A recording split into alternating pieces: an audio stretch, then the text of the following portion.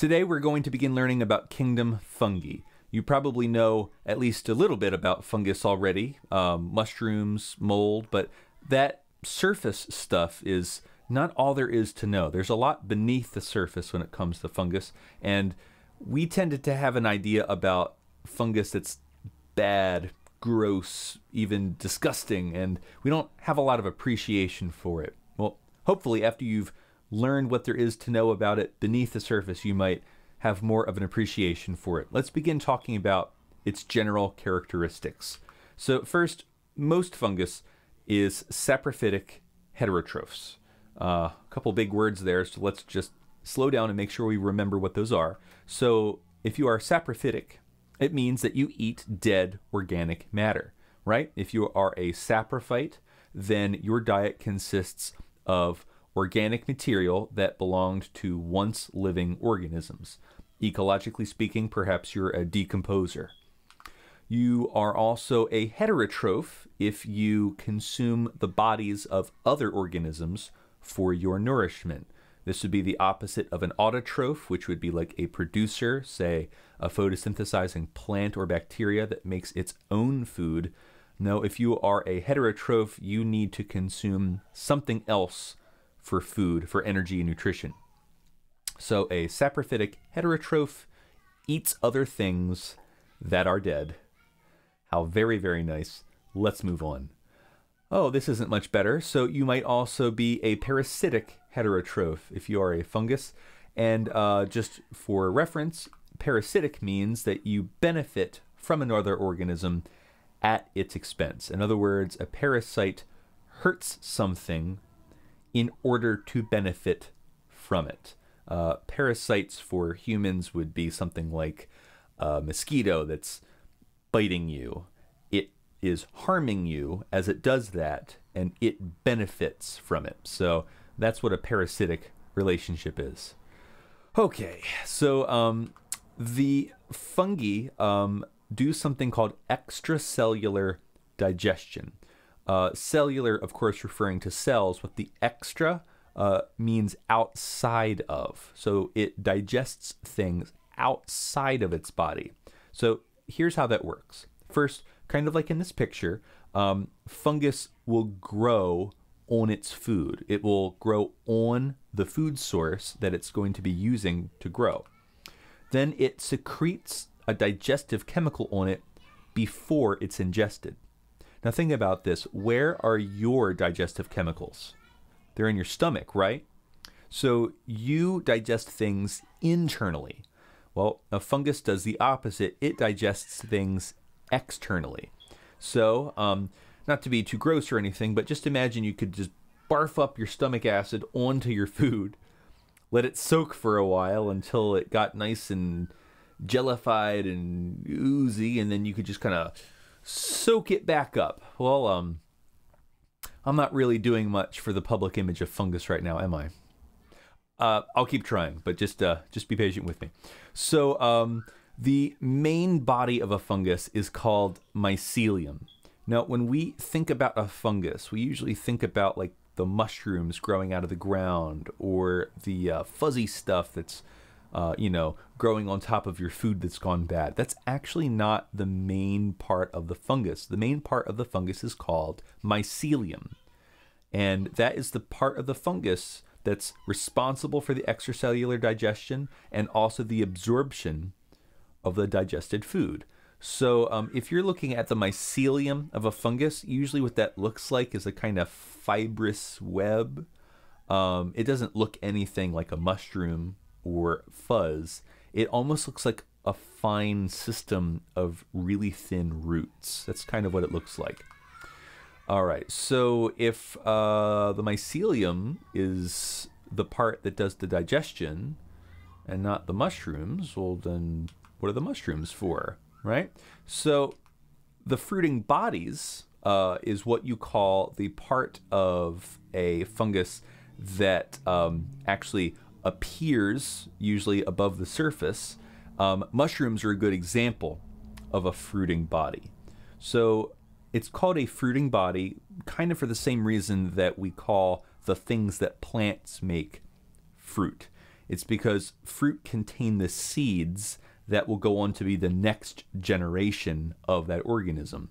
Well, the seeds of a fungus are contained in those fruiting bodies, uh, but they are, of course, not seeds because fungi are not plants. They would be spores.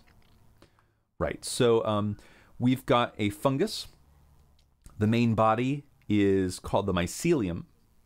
And the mycelium is made of different kinds of cells in the fruiting body. The cells that make up the mycelium are called hypha. They um, are best described as a filament, which is basically a long string. Okay, so there's a couple different kinds of hypha, and uh, one kind is called septate hypha. So imagine you've got a long string of cells. If you have those cells broken up by their cell walls, okay, it would be like a long hallway of rooms, and every room is separated from the next room by a wall. Okay, so that would be a septate hypha. The uh, alternative to that would be um, a non septate hypha, but in a septate hypha, the, cytop- the cytoplasm can pass between cells through pores. So if all of those rooms are separated by walls, then at least they all have doors um, so that cytoplasm can pass through them. So, as I said, the alternative is called a non septate hypha. And in that case, instead of a whole bunch of rooms all in a row, it's just one big long hallway. And kind of like it was one big long cell, the uh, nuclei for um, the kind of have to put air quotes around it when I say all the cells in a non septate uh, hypha, the nuclei are just spread out and they all share the same cytoplasm. Okay, so just to review there, we've got uh, fungus whose main body is called mycelium, um, who produce uh, fruiting bodies that uh, contain their spores for reproduction. The mycelium, the main body, is made of long filaments of cells that are called hypha, and those hypha may either be septate or non septate. If they are septate, then all the cells are separated by cell walls, and if they are non septate, then they are joined together like one big long hallway. So there are a couple other kinds of hypha, other distinctions. One kind, uh, it's called a rhizoid hypha. That would be a hypha that is embedded in the material on which the fungus grows. So, say if you were looking at like a, a, rotting branch in the woods and there's, you know, like some shelf fungus growing outside on the bark, if you peel open the bark and you see those like kind of thin, wispy strands, those would be hypha uh, that are embedded in the wood that is being decomposed by that fungus. Uh, those would be rhizoid hypha. Uh, they are, of course, part of the mycelium because the mycelium is made of hypha. And the other kind of hypha that are not rhizoid are called aerial hypha. Okay, these are um, not embedded in the material upon which the fungus grows. So you can think of aerial kind of like being up in the air, right? Uh, so these hypha would not be rooted. I don't want to use the word root as in roots because plants have roots. Uh, fungi do not have roots. Uh, their entire entire body, the mycelium, looks like roots. Okay, it's not that they are anchored into its food source; they reach up into the air. Okay, so aerial hypha have a couple different functions. Uh, one thing that they can do is absorb oxygen from the air. You know, everything that respirates needs oxygen, and uh, fungi are no different. They also can produce spores, uh, depending on what kind of fungus we're talking about specifically. Um, the aerial hypha are also able to produce spores. Um, if a if an aerial hypha produces spores, it's called a sporophore.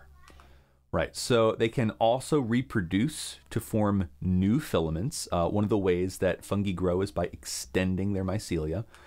Um, if that is the particular purpose of this aerial hypha, then it is called a stolon.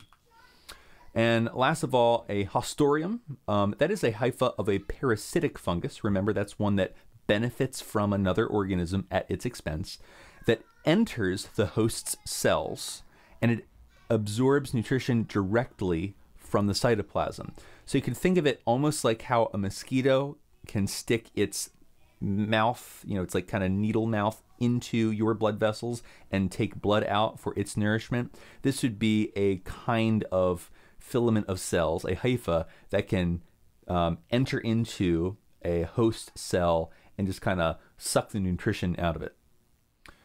Okay, so uh, that is the structure, uh, the general structure of fungi. Uh, later on, we'll talk about particular kinds of fungi and how they interact with other organisms. But for now, that's just your introduction to the kingdom of fungi. And uh, if you don't appreciate them yet, um, maybe I'll get you next time.